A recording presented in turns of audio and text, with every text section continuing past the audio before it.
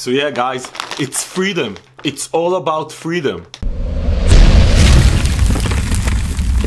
Hey guys. Okay guys, this is part two of the series New Myprotein Freedom Flavors. Yesterday we reviewed the French toast. If you missed that one, you can definitely check down the video below. The link is gonna be below. Go check it out. It was actually very good. Now, today we're gonna do glazed donut. Glazed donut. So, just a quick reminder, all these flavors are supposed to be like all American type flavors. So we have uh, Boston cream pie coming, glazed donut obviously today, snickerdoodle, um, French toast, which is obviously very American, and a couple of others. Anyway, long story short, what I'm gonna do is I'm gonna take this one, I'm gonna shake it, I'm gonna mix it, I'm gonna tell you three things. How it mixes, how does it taste, independent of the fact of does it taste like a glazed donut or not. And then I'm gonna tell you, does it actually taste like a glazed donut? And then we're gonna wrap this thing up. Sounds like a plan. Okay, so let's do it, guys. Refresher, this is the size of the scoop. We're gonna put it in 12 ounces of water. In my first review, some people were worried that there was too much water. So this time I actually measured. 12 ounces. Okay, glazed donut. Let's see what happens.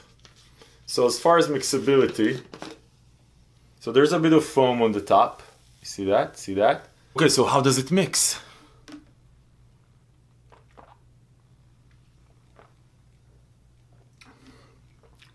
It mixed quite well.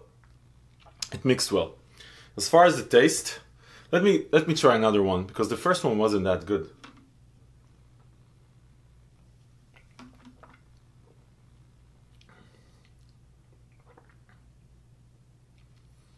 No, I, am not sure I like this actually, the glazed donut.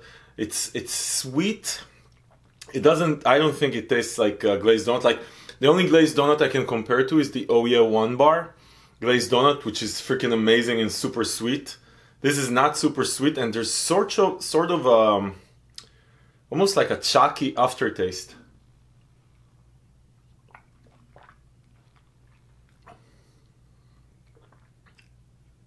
Yeah, it tastes okay when you take it in, but there's a bit of a chalky aftertaste.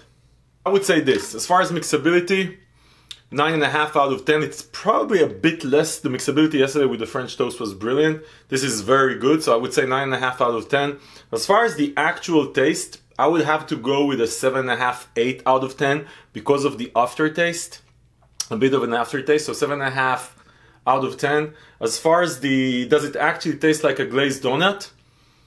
I don't think so. Listen, this is it. This is part two. Check out part one another one coming soon, another flavor. If this video was helpful in your glazed donut making decision process, give it a thumbs up, subscribe to the channel to see more reviews, and if you want to compare prices, find the best deals on anything fitness, supplements, shoes, whatever,